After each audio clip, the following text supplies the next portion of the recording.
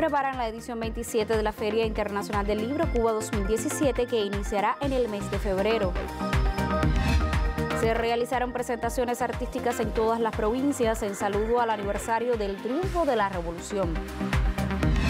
Y acoge el Gran Teatro de La Habana Alicia Alonso las funciones del clásico Don Quijote por el Ballet Nacional de Cuba.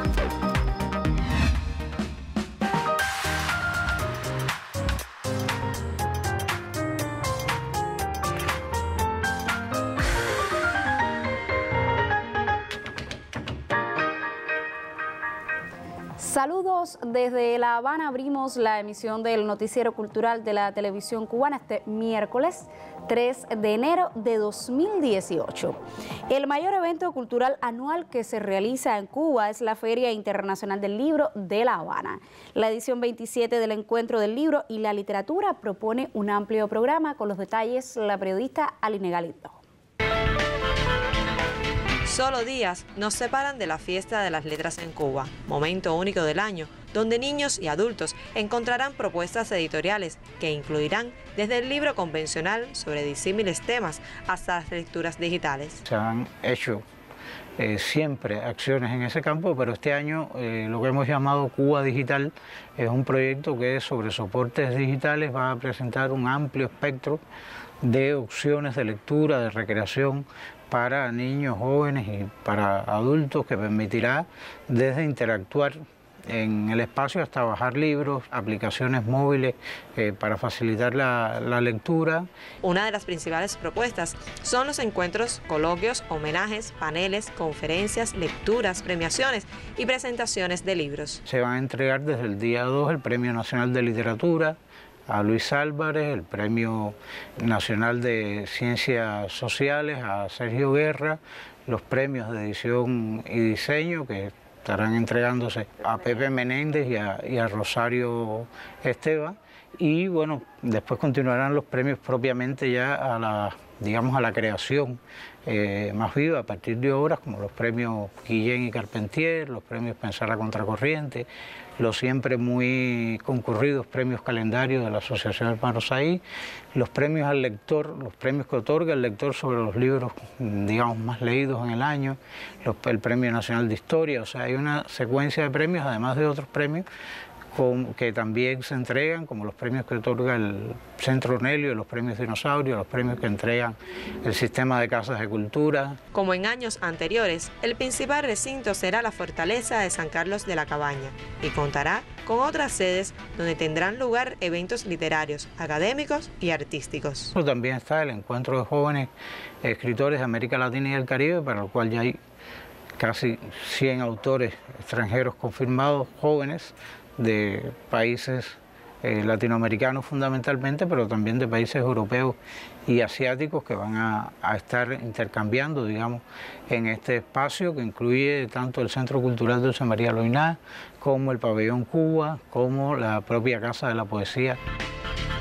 El acontecimiento de mayor alcance popular de la cultura cubana que en el caso de la sede capitalina incluye autores y editoriales de Latinoamérica y el mundo, presenta una nueva imagen diseñada por José Manuel Alum Misas. El amplio espacio que el pabellón infantil, las actividades para niños, pues ofrecen tanto en la sala de presentaciones como en la sala digamos de otras actividades, pues se va a mantener este año en el área del pabellón K, que es un espacio agradable ahí en el área frente al cañonazo. Sin duda va a ser un momento agradable para las personas que asistan como familia, también asistir con los niños a las actividades de un público para el cual se trabaja mucho porque es, digamos, el momento de formación del lector que eh, sin duda va a acompañar después, en la medida que crece, a la producción de todas las editoriales en todos los campos eh, del saber que cada uno elija para su desarrollo. El cartel destaca además la dedicatoria del doctor Eusebio Lear Spengle,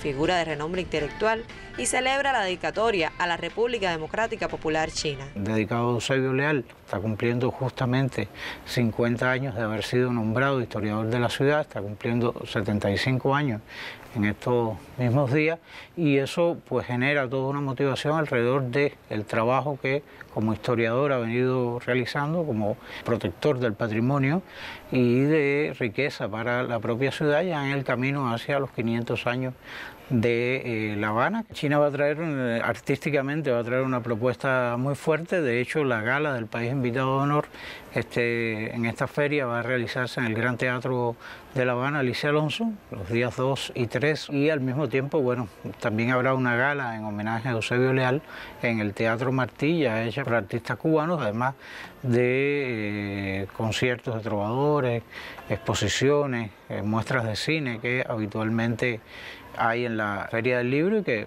va a estar por supuesto enriquecida por la presencia china. La Feria Internacional del Libro de La Habana está concebida como un espacio de diálogo entre las literaturas provenientes de los más de 40 países habitualmente que participan en el evento y también ofrece a los autores, editores, distribuidores, agentes literarios y libreros presentes en ella su principal riqueza, un público lector masivo, preparado en los más diversos campos y con capacidad y disposición para participar en el diálogo cultural que se propone. Encuentros de ciencias sociales, de historiadores, en los cuales también se estará abordando fechas importantes, digamos, para la historia patria, como son los 150 años del inicio de las guerras de independencia, los 90 años del nacimiento del Che, que también estará eh, siendo abordado, los 290 aniversarios de la Universidad de La Habana. Bajo el lema Leer es Crecer, la edición número 27 de la Feria del Libro tendrá espacio del 1 al 22 de febrero en la ciudad de La Habana. Ha sido Aline Galindo para el Noticiero Cultural.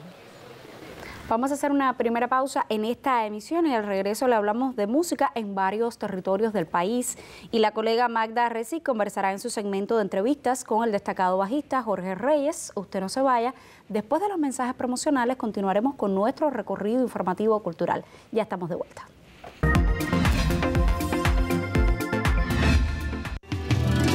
Aire de luz Encuentro con poetas de dos generaciones conducido por la escritora Basilia Papastamatiu en el Centro Cultural Dulce María Loinás. Aire de luz. 33 edición del Festival Internacional Jazz Plaza, del 16 al 21 de enero de 2018, de La Habana a Santiago, de Cuba para el mundo. Del 16 al 21 de enero de 2018, Festival Internacional Jazz Plaza.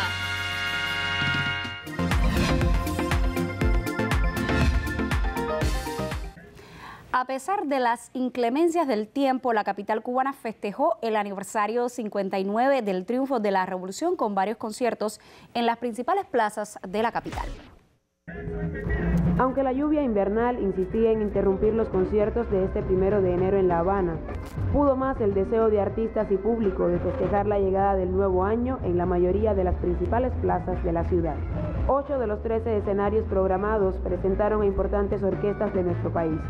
Solo en unos pocos se suspendieron las actuaciones pasadas las 11 y 30 de la noche, a causa de la persistencia de la lluvia y la ausencia de público. No obstante, el aire de alegría que trae la celebración de un nuevo aniversario del triunfo de la revolución pudo respirarse en la mayoría de los municipios. Igualmente, una representación de importantes artistas de las más diversas manifestaciones, junto al ministro de Cultura Abel Prieto Jiménez, participaron de estos conciertos que al final son un regalo de lo más popular de nuestra música al pueblo de Cuba. Juan Guillermo y su grupo, Pupi y los que son son, Habana de Primera, Jaila e Isaac Delgado son solo algunos de los nombres que en la noche del primero de enero de 2018 pusieron a bailar a la capital de todos los cubanos. Y en la más occidental de las provincias cubanas también se festejó el Año Nuevo con diversas propuestas. En este territorio se presentaron las orquestas de Will Campa y el humorista Quique Quiñones, quienes compartieron con sus coterráneos.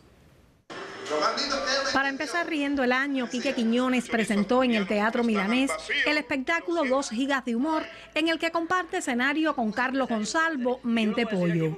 Con carcajadas y torrentes de aplausos, el público retribuyó el gesto del reconocido humorista pinareño de compartir con sus coterráneos la alegría por la llegada del nuevo año. Yo creo que la visión que tengo yo, no solo del humor, sino de la vida en sentido general, eh, se la debo a este lugar, a mi lugar, de donde nací y a quien le debo, a quien le debo todo, todo lo que soy.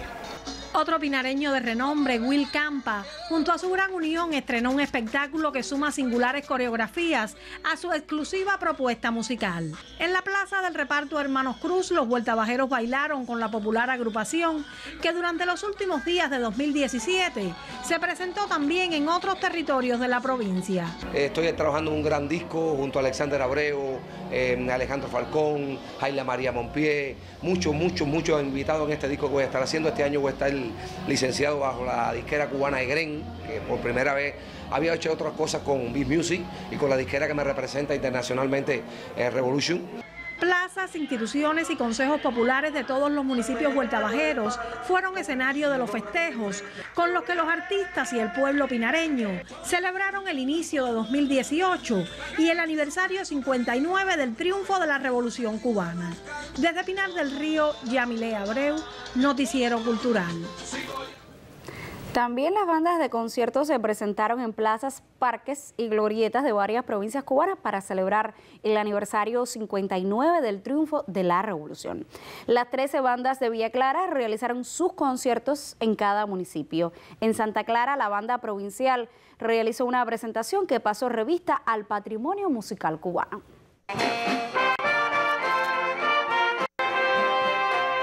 La banda de música de conciertos de Villa Clara hace 115 años constituye el sonido de la ciudad. Es emblema en el panorama artístico de Santa Clara y mantiene un dinámico proyecto a partir de conciertos libres o didácticos, retretas y otras actividades del programa cultural de la provincia. Además de eso, realizamos los conciertos didácticos en las diferentes escuelas de la comunidad, así como los conciertos en diferentes comunidades también de aquí de la, de la región central y eh, muy especial en todas las actividades de carácter patriótico, político y militar que se realizan en el territorio villacalareño. Seleccionamos un repertorio eh, para la celebración, o sea, del, del, triunfo de la Revolución Cubana, teniendo en cuenta, o sea, todos los antecedentes de la, de la música cubana y que, también de la música que tiene que ver con el quehacer cultural de la provincia de aquí de, de Villa Clara. En este 2018, la banda de música de Villa Clara continúa en la preparación de su personal artístico pendiente a la evaluación profesional. Como primera prioridad y continuar brindando a todo el público villaclareño todo el quehacer musical de nuestra agrupación y también eh, Mm, encontrarnos también con los nuevos valores que eh, ingresarán mm, a nuestra institución, graduados de, las academias de música de aquí de la provincia de Villa Clara. Hilda Cárdenas Conyedo para el Noticiero Cultural. Lo anunciaba hace unos minutos, hoy la periodista Magda Recic conversa con un reconocido músico cubano.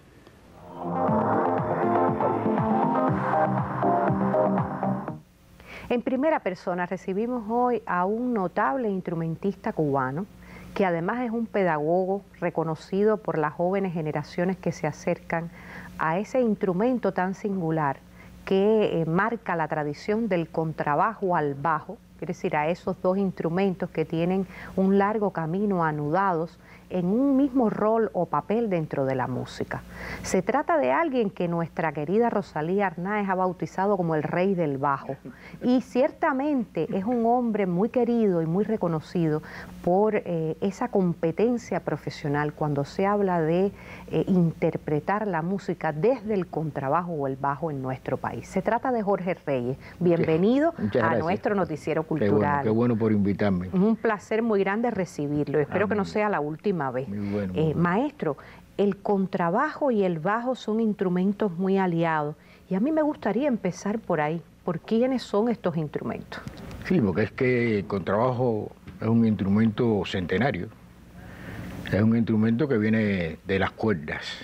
Es un instrumento que proviene para la música clásica específicamente, violín, viola, violonchelo y contrabajo. Es el instrumento que gravita, que le da la posibilidad, le da un sonido muy específico dentro de la música clásica.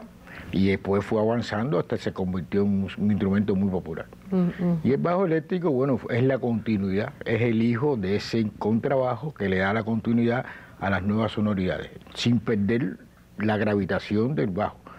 Pero al convertirse un instrumento, el bajo eléctrico, una continuidad sonora nueva, por eso es que se le llama bajo eléctrico. Mm, claro, y además que aprovechó las nuevas tecnologías asociadas a la música.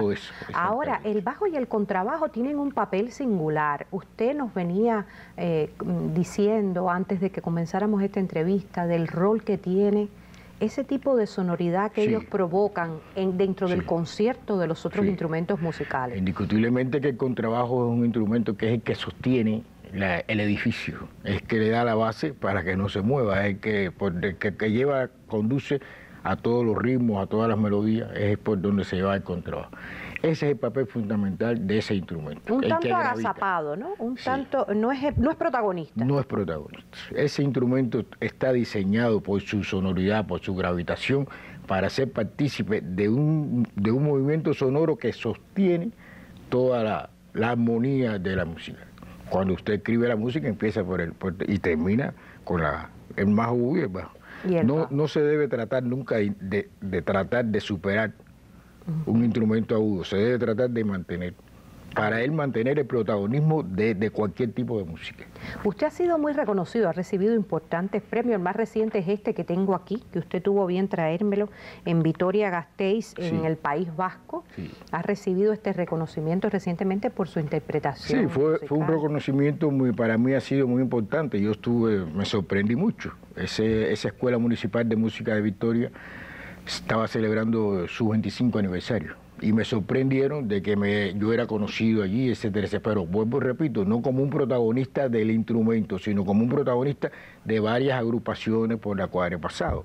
Y de una escuela. Y, de una en una escuela. Estaban muchos, muchos músicos de la juventud y se me da como un reconocimiento al trabajo realizado dentro del contrabajo, pero de, la música del contrabajo. ¿Me entiendes? Maestro, usted en, su afán pedagógico, porque usted es un pedagogo, eh, en ese afán pedagógico suyo, ahora ha tenido una idea muy singular de un evento o encuentro que se llama Voy Bajando. Claro, claro, claro.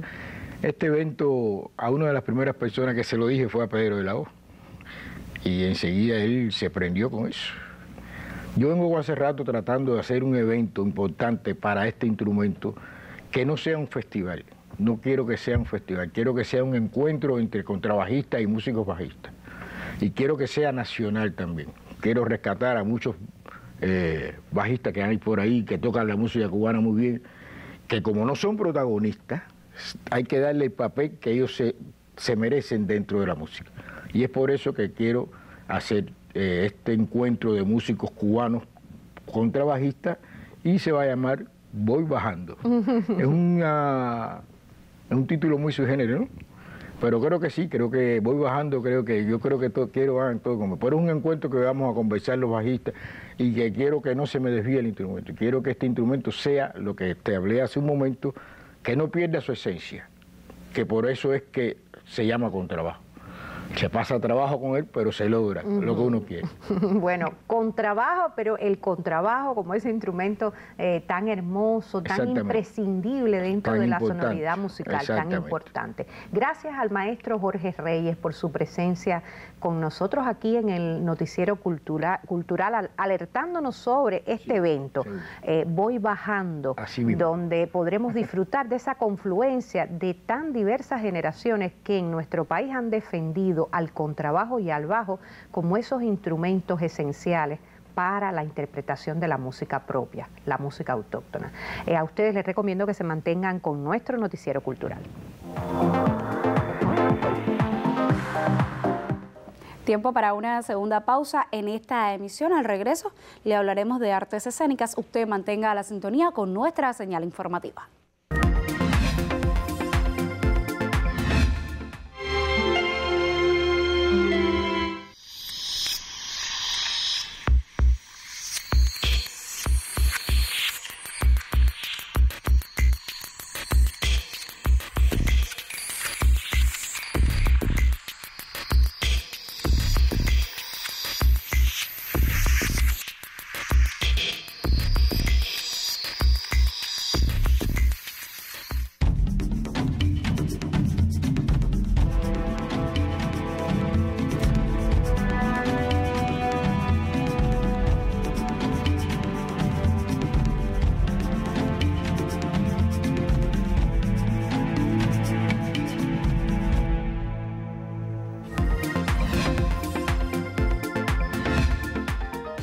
El Ballet Nacional de Cuba, dirigido por la prima bailarina absoluta Alicia Alonso, presentará durante todo el mes de enero una extensa temporada del clásico Don Quijote que contará con el debut de jóvenes figuras del elenco. La Sala García Lorca del Gran Teatro de La Habana acogerá las funciones durante todos los fines de semana del mes que festejan los 30 años de la versión cubana del célebre ballet y los dos siglos del natalicio del coreógrafo Marius Petipá.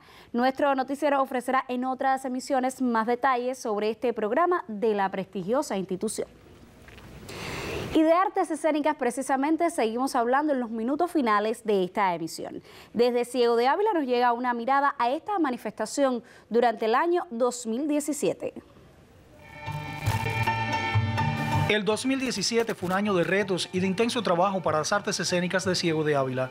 La celebración del 90 aniversario del Teatro Principal una de las joyas arquitectónicas del eclecticismo avileño y de la cultura cubana, marcó el reto de llevar a sus tablas propuestas que prestigiaran a la institución. Una jornada extensa se alistó para festejar el suceso histórico-cultural y entre los ofrecimientos a los avileños se presentó el ballet de Camagüey y otras compañías de renombre en Cuba y el mundo. El Festival de Danza Folclórica Buscando la Tradición y la jornada teatral Títeres al Centro se hicieron realidades a pesar de la difícil situación económica dejada por el huracán Irma a su paso por el territorio nacional. Uno de los méritos reconocibles de este año que culmina fue la labor sostenida de la compañía Danza de los Placeres por imprimir su obra dancística al enfoque o tratamiento de género y la denuncia contra la violencia. Del 14 al 19 de junio se desarrolló la octava edición del Festival de Teatro Sin Fronteras, una cita que por primera ocasión tuvo carácter internacional y que se dedicó a la figura del teatrólogo y escritor avileño Amado del Pino. La agrupación humorística 40 Megats, que nació en el movimiento de artistas aficionados universitarios, profesionalizó su arte al ser ganadora de un premio Aquelarre e ingresó al catálogo de las artes escénicas avileñas. La festividad por el Día del Teatro Cubano llevó a los principales escenarios de la provincia y a las comunidades las ofertas del programa diseñado por la fecha como homenaje a los sucesos del Villanueva. El verano marcó un punto en que las artes escénicas se convirtieron en puntal decisivo del programa diseñado para la etapa estival. Momento especial que agradeció el público avileño fue la presencia de la maestra Lisa Alfonso y su compañía y los talleres de intercambio que ésta impartiera con estudiantes y profesionales de la especialidad de danza de la provincia. El Encuentro Nacional de Narración Oral Molinos de Cuentos volvió a impregnar en Ciego de Ávila la esencia de la especialidad. La campaña teatral Amistad devino un gesto defensor de los lazos que a través del arte une a los pueblos. Exponentes del arte teatral de Argentina y Chile se unieron a los integrantes de Teatro Primero para recorrer las comunidades afectadas por el huracán Irma en Punta Alegre, Júcaro y Bolivia. Uno de los logros más importantes de las artes escénicas en este periodo que cierra es Caminos Teatro, un proyecto que surge en el seno de la compañía Teatro Primero para rescatar y revitalizar el teatro dramático en la provincia. En Ciego de Ávila, Henry Godínez, Noticiero Cultural. Y en el cierre de nuestra emisión de miércoles nos acercamos a la vida y a la obra de una conocida actriz matancera que recientemente celebró sus siete décadas de vida. Pues siendo norte y salud, tu figura y tu presencia rompes con tu cruel ausencia las cuerdas de mi laúd.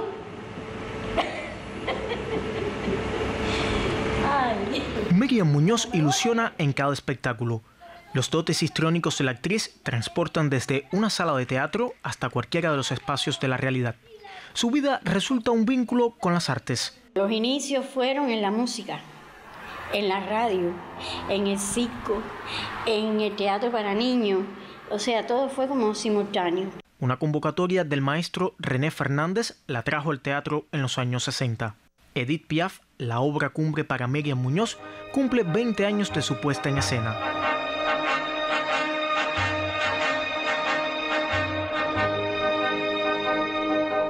No.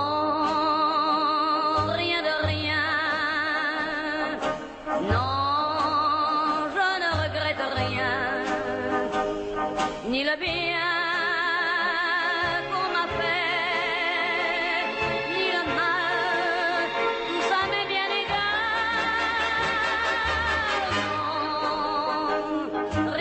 Muñoz no se cansa.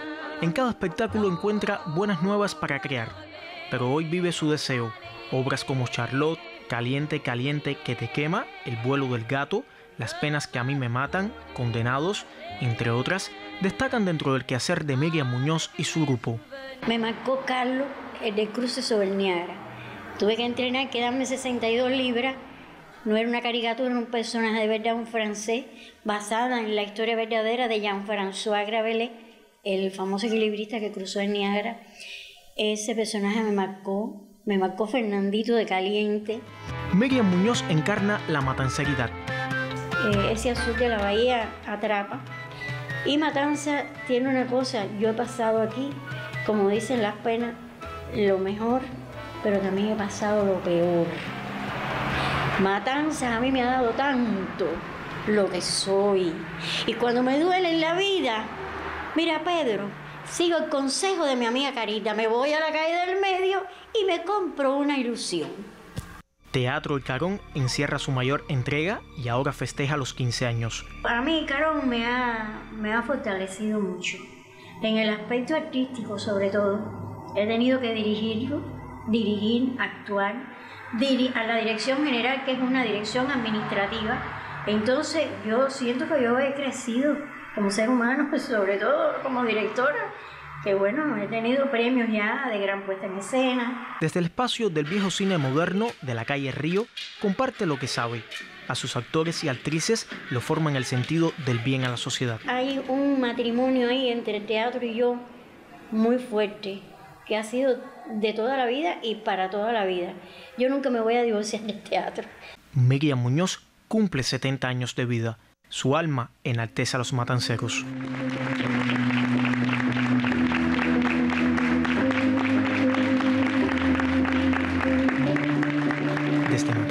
Pedro Rizo Martínez, Noticiero Cultural.